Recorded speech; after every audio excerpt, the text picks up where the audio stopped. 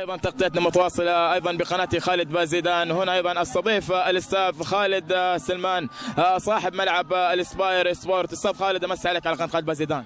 الله يعطيكم العافية ومساك الله بالنور وحياكم الله والله في ملعبنا. أستاذ خالد كيف شفت المباراة؟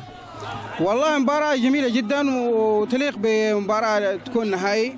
وزي ما شفتوا يعني صراحة كانت آه، مغطى بجمهور آه، جدا آه، يليق بكرة الجنوب يعني عامة يعني أستاذ خالد هل في الأيام القادمة هل سنشاهد بطولة قادمة في ملعب ال Aspire Sport؟ أكيد أكيد ملعب Aspire Sport ما أنشئ للبطولات وإن شاء الله بالذات يعني جنوب جدة حيكون إن شاء الله بإذن الله في بطولات جاية قادمة جبارة بإذن واحد أحد. أستاذ خالد كلمة أخيرة؟